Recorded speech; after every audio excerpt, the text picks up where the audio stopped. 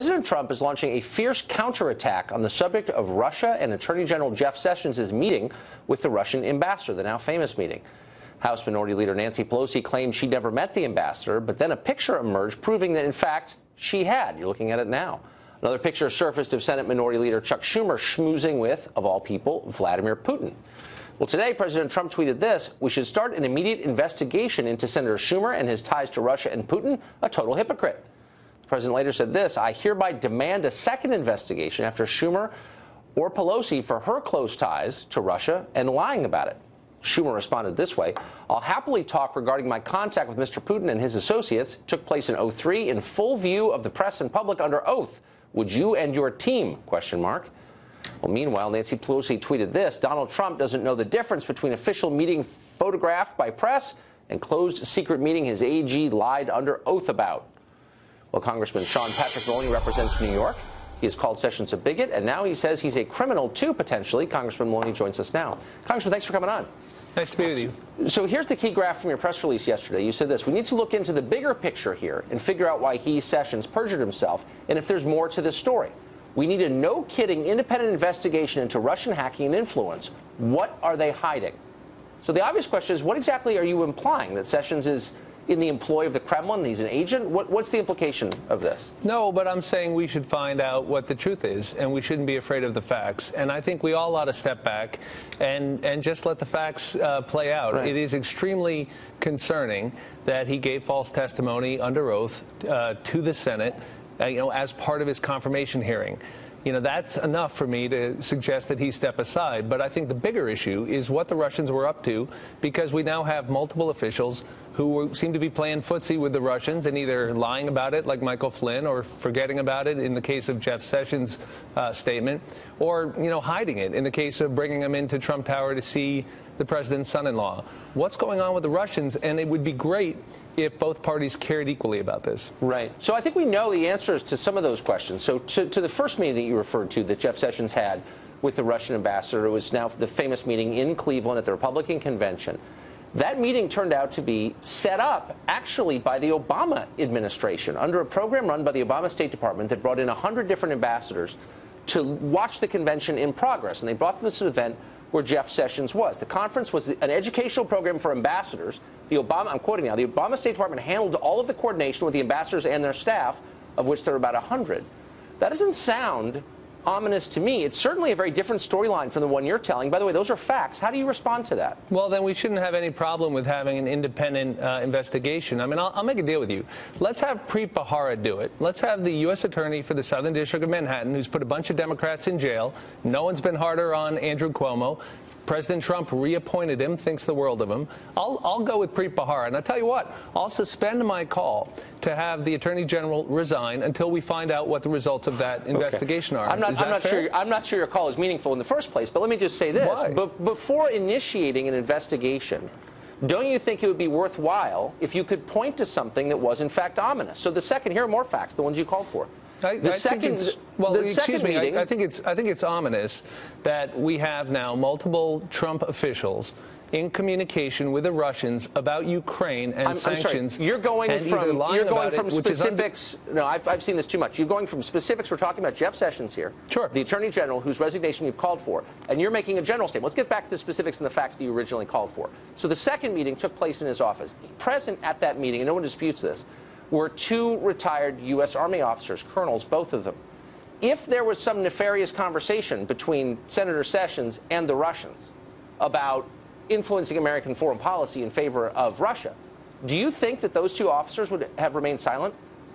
Look, I think we I think we should ask them what transpired. I think that's why we want an independent and fair look at this. And but is there again, any I'm willing to go with that the something facts. bad happened? No, when I, no, many I, senators no, met I, with this ambassador, including many Democrats. No, excuse me, Mr. Carlson. I said we should have a fair look, and that's why I suggested we have an independent guy like Preet Bharara do it, and we all sit back and let him get the facts out. But what's so infuriating, uh, if I can be honest with you, is that you're being disingenuous. So you know that this ambassador met with many different people on both sides, that he went 22 times to the Obama White House including during the campaign.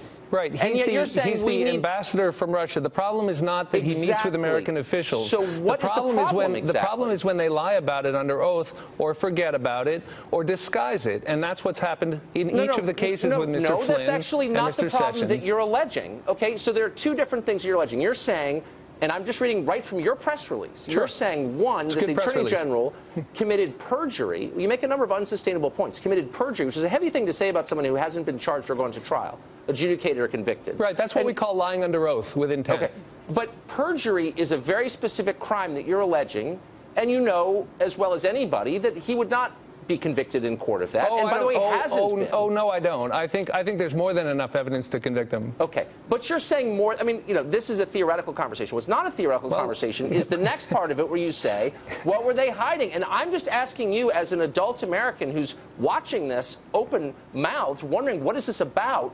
What are you alleging? Do you think that the Trump administration worked with the Russians to throw the election in favor of Trump over Hillary. Is that what you're like? What are you saying exactly? What I'm saying to you is that there is more than enough here that all Americans who care about our country should want to get to the bottom of it in the in the most fair way. The and I think that the what? most fair way to do that is to find out why there was a systematic effort that we know existed to influence our elections. That's not in dispute, right, Tucker? I mean, you don't dispute the finding of the intelligence agencies. You so we know I, the Russians were up to this. I dispute your characterization of it. Well, because, I'm, my again, characterization is we should find out the facts. I don't know okay. why you dispute that.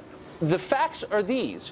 We can't point to a single instance where the Russians spoke to anyone affiliated with the Trump campaign that we know of about changing the outcome of the election. A. B. We can't point to a single point, data point that shows that Russian influence affected the outcome of the election. Am I missing something? Do you I have didn't, facts I didn't, that you I haven't didn't say shared? that. I, I, didn't say that, but I'm happy to let an independent investigation look at that. But I think what we do know is that they were intensely concerned about sanctions related to their activities in Ukraine.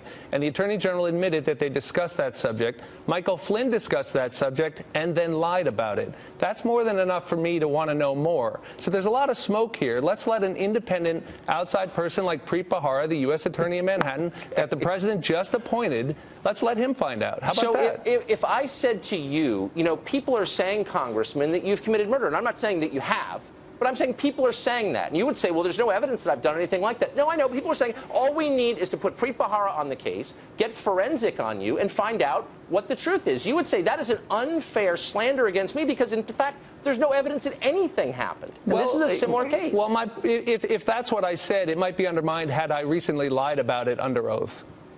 And that's, I guess, the point. It's not Recently, that people meet with the Russian ambassador. Like I know Chuck Schumer ate a donut with him. The point is he didn't lie about it under oath. But and you I think are that being I think it, I, I guess we're wondering disingenuous. why. I, am not being disingenuous. Yes, I'm, you are. I will I'll follow you, the facts. I will come back on this have show. Have you watched the tape? I will come. Uh, I will come back on this show, and I will admit that that I was wrong. If we can have a fair and neutral examination, we need an independent look at what happened. Why are you afraid of that? I'm amazed by. I mean, there was a time when there was a time when conservatives didn't laugh about the Russians trying to influence our country. When there was a time there was when a time when Democrats were calling for war with countries on the basis of no evidence not, of wrongdoing. I'm, not calling for war. Well, sir. you had 2 I'm senators for, in your I'm, party I'm yesterday. For a look. We, are, we have a right. excuse me. We have an undisputed effort at the highest levels of the Russian government to influence our election. I let take me, that seriously. Let me, I think, let me ask I think you most an Trump adult voters question, would take a that seriously. A nonpartisan question. I'm sorry. If you could just get off your talking points for two seconds. Uh, sir, I'm just could, calling for an independent could, investigation. And, I, and, and, and, gonna, and I, I, guess I'd be curious why gonna, you would why you would why you would I'll, oppose that. And I'll tell you why. Because I live in Washington, and I know that there is a long series of governments who attempt, and some successfully, to influence American policy, and that Russia is not on the top 10 of that list. And so I don't believe that your concern is sincere.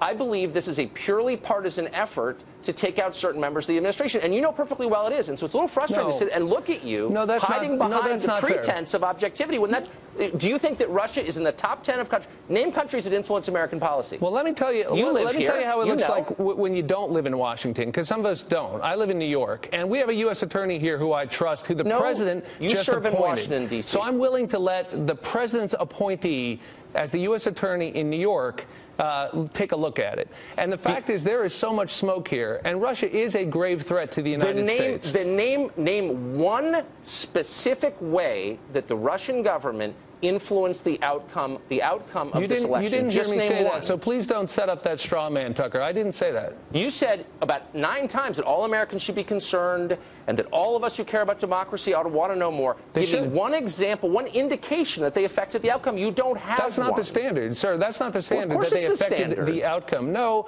It- hey, if somebody takes a shot at my head and misses, I'm still going to care about it. There is. Then give me one example. I mean, look, you- you can Russia. agree. Look, what I'm- I'm what not here exactly are you saying- talking about? Do you uh, believe that they that they broke into the voting machines? No. And affected the vote count? I don't know that there's any evidence of that, no. But I think that what there is evidence of, and, and it is not in dispute, Tucker, and, and, I, and I wish you'd take it a little bit more seriously. Look, I watched your interview I wish with you Jeff would take Sessions, it and- and I seriously, thought you did it- Congressman, and not make this into a purely partisan If I thing, could- which you if I clearly could- are doing. If I could and it's finish my- embarrassing to your office that you are. If I could finish my sentence, I saw your interview with the Attorney General. I thought you did a good job of asking them tough questions and taking it seriously. What is not in dispute? And he don't raise me the straw man. answers me, don't, answers excuse unlike me, you. Excuse me. Don't raise the straw man of influencing the outcome because I think you know that, that, that that's a bridge too far. I it's know that the serious whole enough. thing- It's I know serious that the whole thing that is they try to charade. Influence the election, and that is not in dispute. You know Those what- are the intelligence agencies. We're out of time. I'm going to say I've taken this seriously from day one. I've asked Democrat after Democrat, give me something real, and none of them have. And Well, I merely get sanctimonious nonsense. That's why we need an Okay. independent look, That's and not- then we'll let the facts speak for themselves. How about that? You're making this into a joke, Congressman. Thanks for joining us.